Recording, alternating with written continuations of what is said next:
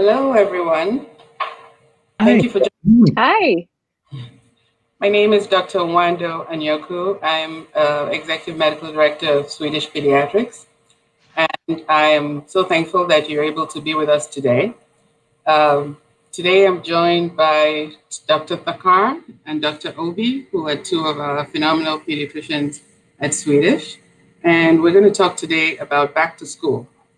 This is typically back to school time for everyone. It's traditionally a fun and exciting time full of possibilities and thoughts of the next year. This year is a little bit different because of the COVID 19 pandemic. And so we're getting a lot of questions from parents and from families about how best to manage getting their kids back to school and managing their household.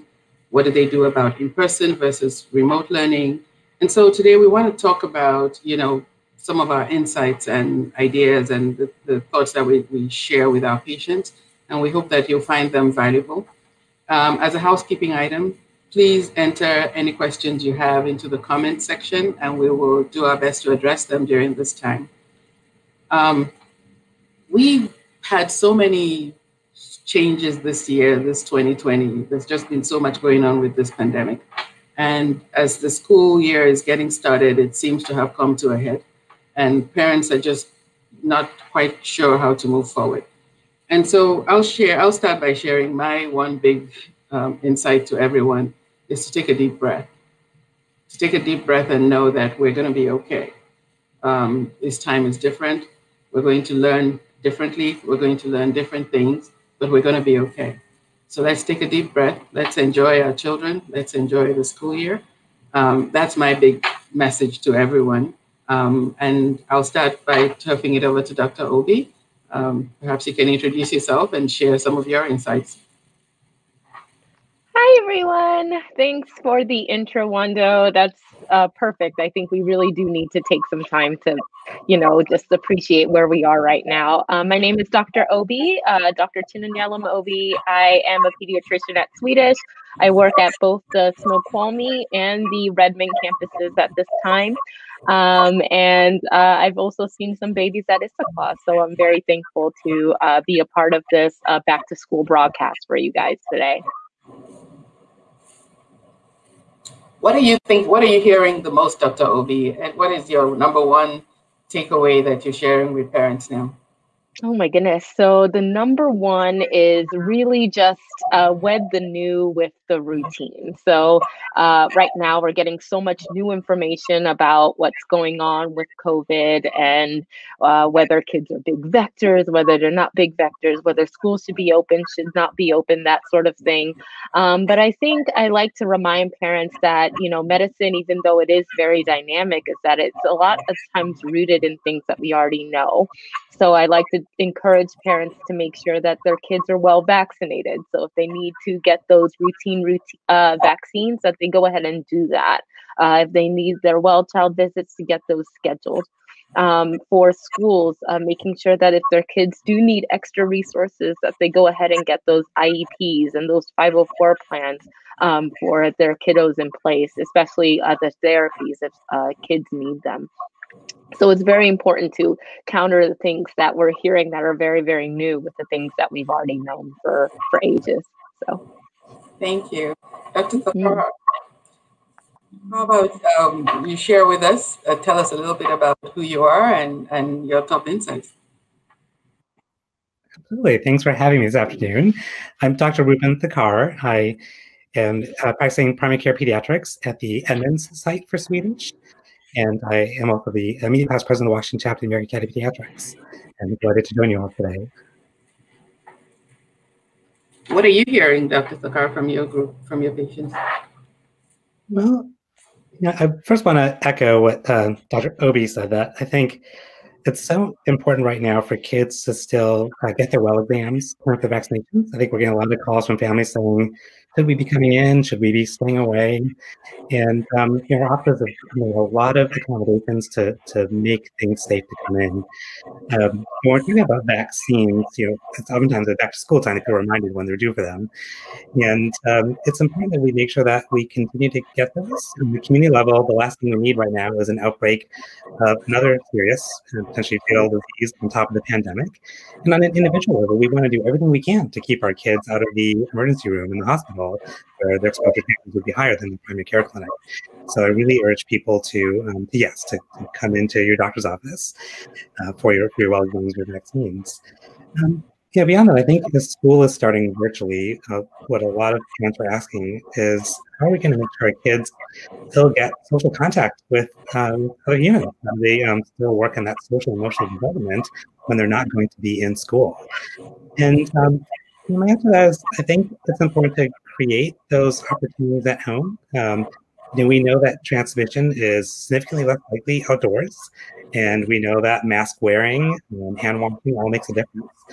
Um, so, for example, I can share in my home, um, my daughter, we've been letting her have, um, under adult supervision, have um, scooter plating um, with you know, friends. She is masked and spaced from them the entire time, but still getting to see friends and still getting some physical activity, which you know normally she'd get during recess at school, but won't be able to now. So we have to create those opportunities at home. And um, my son has figured out that his favorite game, Battleship, can actually be played outside with a mask that's feet apart from your friends. And so that's something that he's been enjoy enjoy doing as well. So we just have to be creative in how we create those opportunities. And I, you know, kids can also communicate with uh, family, relatives, and friends too through you know platforms like FaceTime and Zoom. Um, you know, even though we try to limit screen time, I think that's something that we need to allow right now, and it also gives them practice for what it's going to be like to do school virtually. I think you're exactly right. You know, we there's so many things that we kind of emphasized a lot, like limiting screen time, and it turns out that this is the normal. Um, but I think I really appreciate your calling out, Dr. Thakkar, all the the well the roundedness of what school experience is for kids. It's not just the education, but the socialization and sort of interacting with people. And so as we're solving for school remotely, we also have to solve for those other aspects of um, education remotely. Um, and you know, it's challenging. Uh, we had a question come in about older kids, you know, the older teenagers and the college-bound ones. How how do we help them without nagging them? um, I think that, that that was the, the the thrust of the question. You know, parents of younger children are struggling with building a structure around them and giving them a certain time. But how do you deal with that for the teenagers? I have two teenagers, and that's a, a challenge. Um, but teenagers and college-bound kids, how how would you advise your patients, Dr. Obih? So I think it's very important to remind everyone that while we're in this together, this is also something that we have to personally take uh, responsibility for with regards to mitigating spread of the virus. So uh, with my older kiddos, what I remind them, and especially those that are college bound, is the precautions that you take for yourself are not only for you, they're for everyone in your environment. So making sure that you're hand washing, that you're um, keeping up with the guidelines that we've already suggested from the CDC, keeping six feet of distance if you can, um, uh, sheltering in place when you should, you know, um, in the ways that you are provided that opportunity. So um, it's very important to remind them that even though uh, it doesn't seem like the virus is something very tangible, it is something that uh, what we can't see. And so making sure that they're taking care of themselves is a way to take care of everybody else around them. So reminding them of that social responsibility might be helpful. I don't know. We'll see. yeah, really, appreciate what you said there about just you know reminding teens that we're taking care of a whole community. I think we've all been in our teens and twenties and felt invincible, and you know that nothing can touch us. And so we have to remember that that's a place where our young adults are coming from. But you know, while we know that uh, transmission of, of COVID nineteen is less likely in younger kids, we know that for um, teens and 20s, the, the rates of transmission are as high as for older adults. And so we do have to remind um, remind them about that. And, you know, if school ultimately does end up, um, you know, actually back in person at some point, it's not going to be the same as what um, high schoolers or, or, college students think of it. You know, things like um, contact sports or choir or band are still probably not going to happen this year. And um, you know, we have to avoid sort of crowds. So things like using a locker, for example, might not be something that happens anymore this year. Um, you know, even things like lunchtime is going to be different. It, it won't be in a crowded cafeteria anymore. And so I think as you know, um, as we get questions from our, our teenagers about what to expect for school if it does go back to session, I think it's important to sort of lay out a little bit of groundwork too, that things are going to be a little bit different to take care of each other. Indeed, indeed. I, I think that is so true. But you know, that makes me think about how do we even talk to them about what their expectations are, how how do they manage their anxiety around this time? How, you know, for parents, what should they worry about? How do you have those conversations with your children so that, to your point, we're giving them some sense of normalcy, but also some sense of agency as they're managing this new space. So how do we address that? I, you know, I try to talk through with the parents of my kiddos and with my kiddos you know, this is a different time, and let's try and keep in place the things we know a, a structure, a time to do classwork, a time to go out and take a walk or, or bike and connect with friends and keep some of those things steady that we can and continue to be hopeful and think about the future. But how, how are you addressing that with your with your families? Yeah, I think um, a lot of the conversation I like to allow my kids to direct it. You know, so give them basic information about what's happening and, and the necessary safety information they need to know.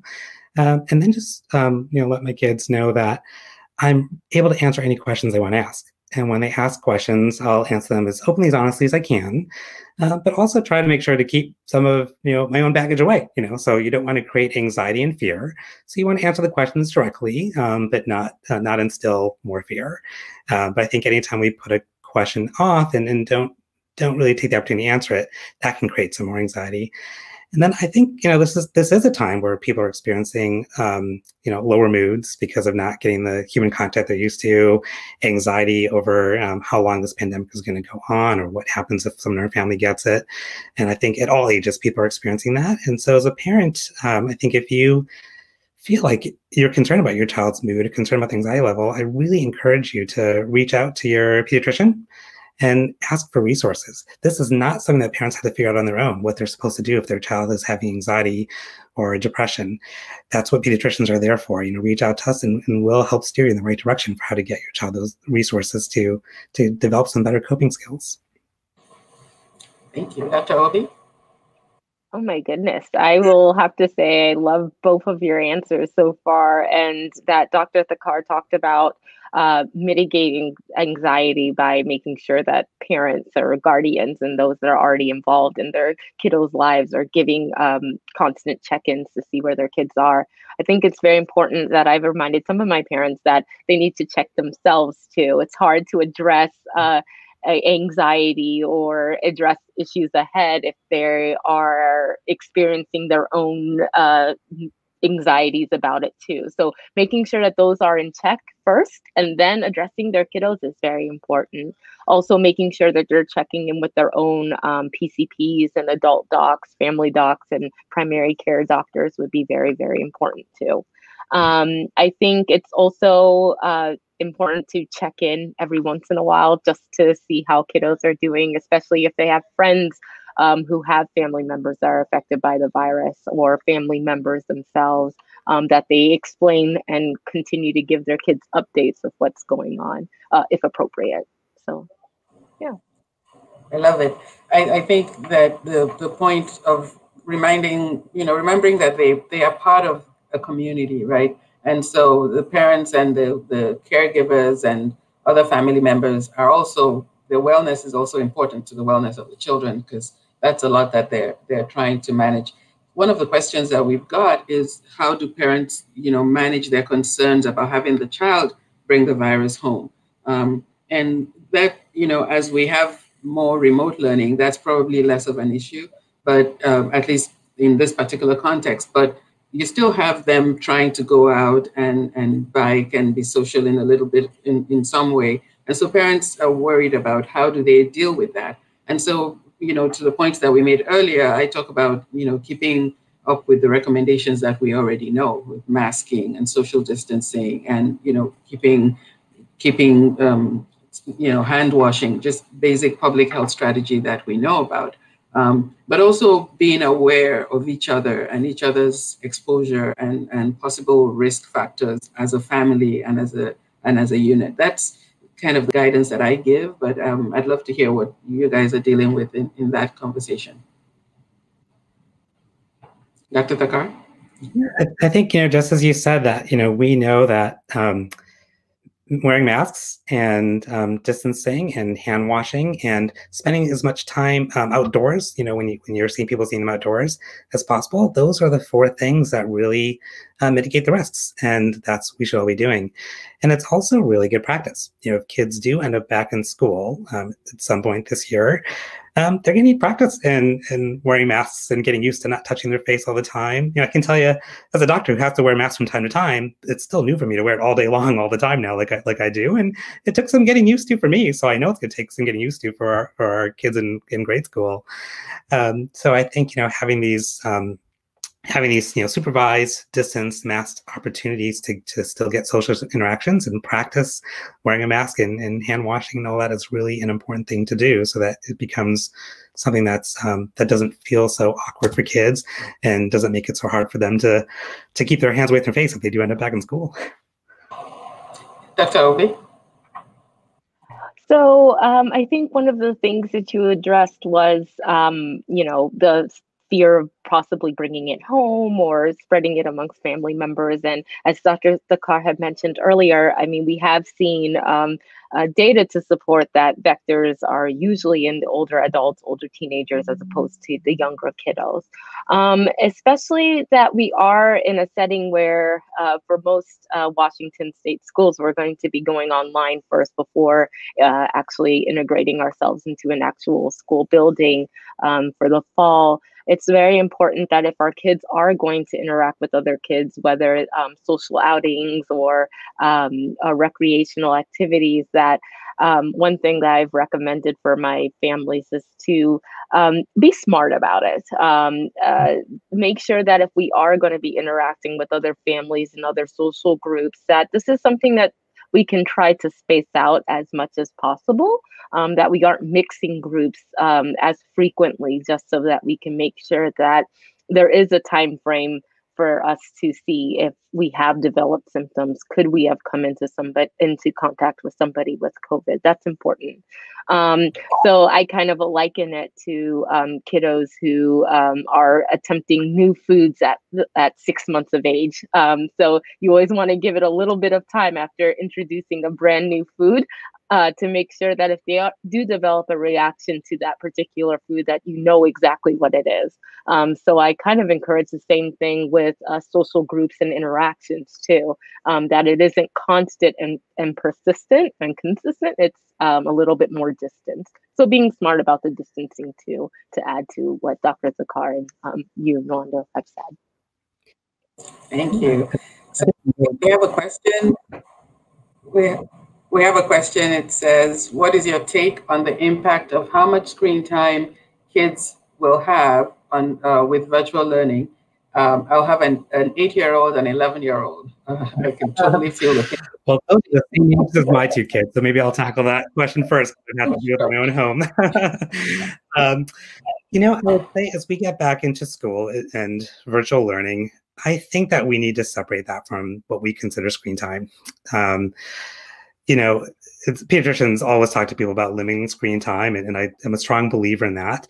Um, but I also think if education for school is going to be through screens, um, you know, kids are going to see it as very unfair if we don't let them have the screen time that they're used to having. Um, and so I would think that we should separate that that education from the sort of fun screen time that they get to have, but still put limits on that fun screen time like we always would.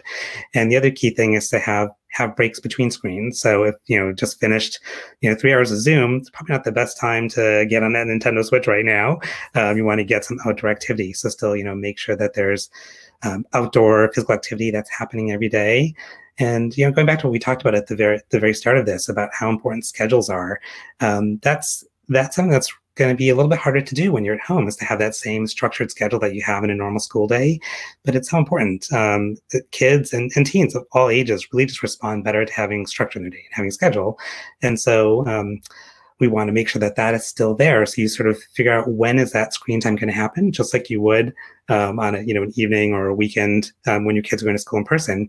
Still want to do that while they're doing school virtually. Sort of figure out when that fun screen time happens and have limits on it, um, but don't count the don't count the Zoom meetings that they have to do for school against them. awesome. Yeah, I, I totally agree with that. Um, I, I think the eight and 11 year old are just at the beginning of that project, then you just get into the older teens and it's even more of a challenge. And, and I think to your point, um, Rupin, my exact counsel is about structure and just having a schedule and having everyone know what, what the expectations are at each time. And, you know, having a way, an acknowledgement that they do have their recreational screen time, which it would be unfair to deprive them of, but then you don't want to find a situation where they're 24 hours a day on the screen. so you want to break it up. You want to build in, you know, outdoor activity and, you know, which is a which is a gift and which is a reward.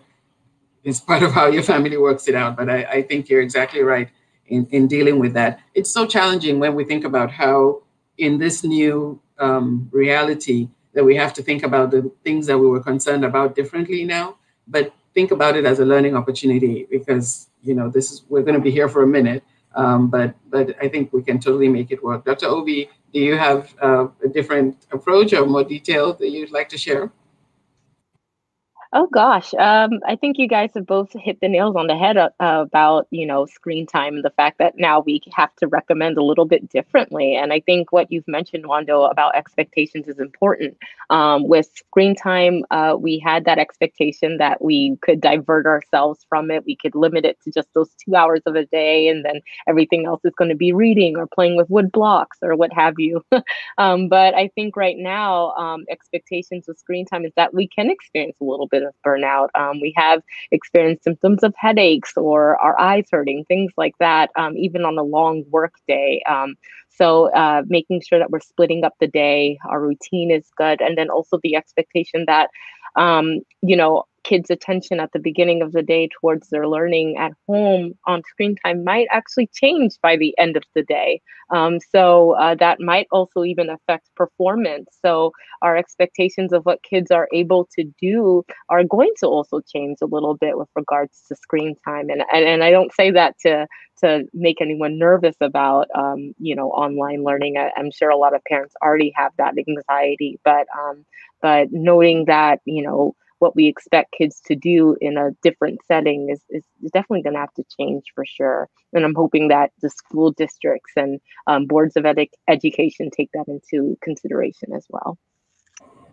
I think that is such a you know a key point to call out. You know, everybody's expectations have to be recalibrated mm-hmm. uh, for different term. something I wanted to point out was uh, an idea that I'd heard from uh, some young people because of that with all these challenges in the ways they're going back to school, apart from remote learning and screen time and all the other things that are changing, children's opportunity to serve and to be mm.